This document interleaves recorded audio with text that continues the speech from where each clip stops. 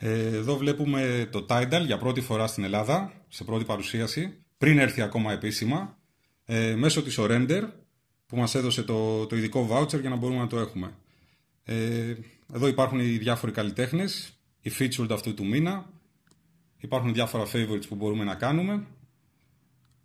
Πατώντας μπορούμε να δούμε και τα διάφορα άλμπουμ, τα νέα, το top 20, τα προτινόμενα, κάποια favorites που μπορούμε να έχουμε κάνει και αναζήτηση. Στην αναζήτηση υπάρχουν και ελληνικά, παρόλο που δεν έχει ενεργοποιηθεί ακόμα για Ελλάδα. Τι κάνει την αναζήτηση.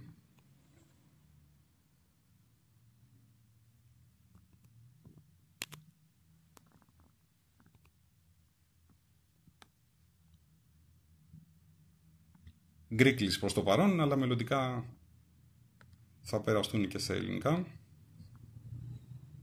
Τώρα έχουμε πέσει σε άσχημη γραμμή. Α, ορίστε.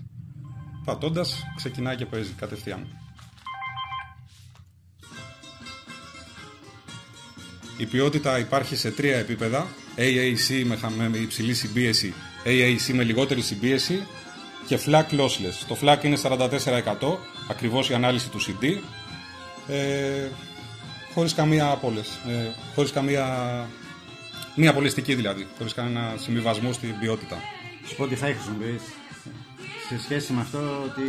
Καλύτερο είναι αυτό από το Spotify. Ηχητικά είναι πολύ ανώτερο από το Spotify. Ακούγεται ξεκάθαρο, ακούγονται μεγάλοι όγκοι, τα όργανα στη σκηνή απλώνονται.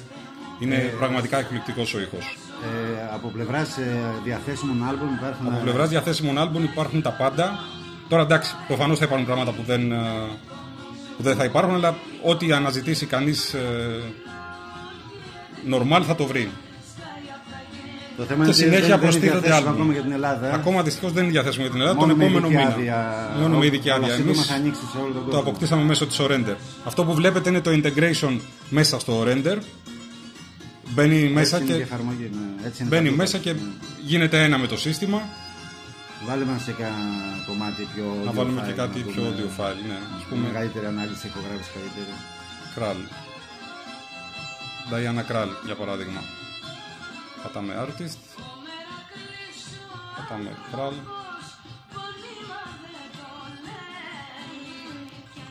Diana Κράλ. Όπως βλέπετε σε ταχύτητα είναι ταχύτατο. Πάρα πολλές εταιρείες το έχουν το υποστηρίζουν πια, audio κυρίω. Είναι το μέλλον στην, ε, στον τρόπο που θα χειριζόμαστε τη μουσική. Στο πώς θα ερχόμαστε στην, σε επαφή με τη μουσική.